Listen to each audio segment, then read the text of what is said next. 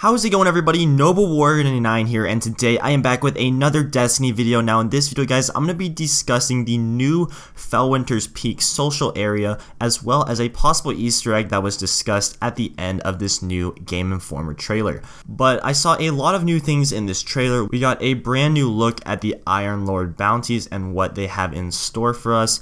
We have some pretty cool House of Judgment gear as well um, which looks pretty sweet in my opinion. Also, as you guys note right here, players are able to trade in for materials from Shiro 4, which is pretty awesome as well.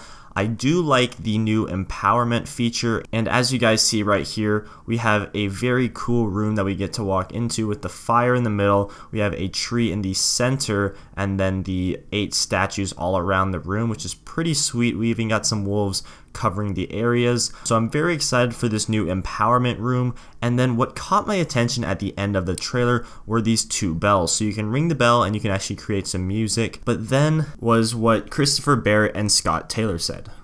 I'm looking forward to the songs that players uh, create Yeah, with the it'll be good. with the bells. Well, if you if you hit them in a certain order, something might happen.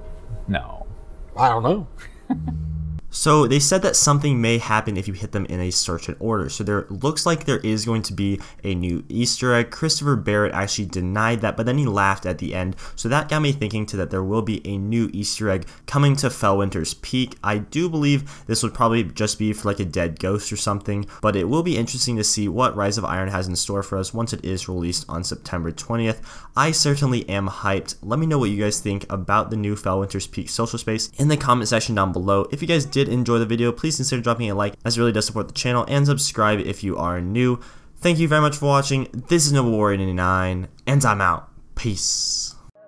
Tell me pretty lies, look me in the face Tell me that you love me,